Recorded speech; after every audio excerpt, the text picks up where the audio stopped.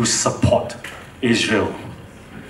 And finally, I'd like to, in the little time that we left over, to talk about Psalm verse 8, 2 verse 8. God told his son, ask of me, I give you the nations for your inheritance. Do you know why and how we can have inheritance? As believers, you will have no inheritance, but as sons, as sons of God and daughters of God, you have inheritance, nothing less but your nations. I begin to understand this and I begin to ask Singapore as my inheritance.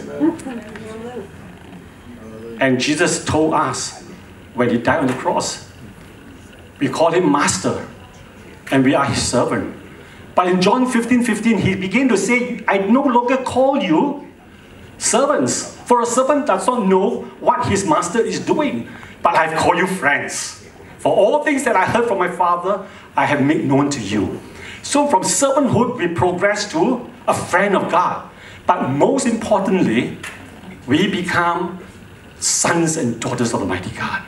So in 2 Corinthians 6 18, God says, I will be a father to you, and you shall be my sons and daughters, say the Lord Almighty. This is the only verse in the Bible that the women folk loves a lot. Because this is the only Bible verse that says sons and daughters. Of course, we know in the Bible when we talk about sons, it's including our lovely ladies, our daughters of the mighty God. But in this particular verse, it specially, specially states sons and daughters of the Almighty God. So we are sons and daughters, and because of that, we would have inheritance. And how do we able to have inheritance of the nation? Jesus, in his Great Commission, told us, go and make disciples of the nations, baptizing them in the name of the Father, Son, and the Holy Spirit. Now, how do we disciple nations? We disciple nations by discipling one another, by fathering spiritual sons and daughters into the way of the Lord, and then minister to many. It's a great reminder when God chose Abraham in Genesis 18 19. He says, I have known him. God said, I know Abraham in order that he may command his children and his household after him, that they may keep the way of the Lord and do righteousness and justice, that the Lord may bring Abraham what he has spoken to him. God says, I know Abraham.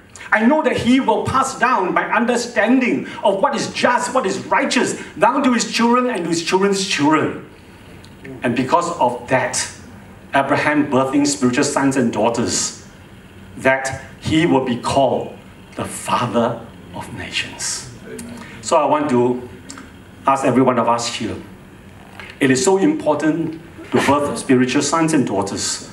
So very important to disciple the few, to pass down God's righteousness and the way of justice into the next generation.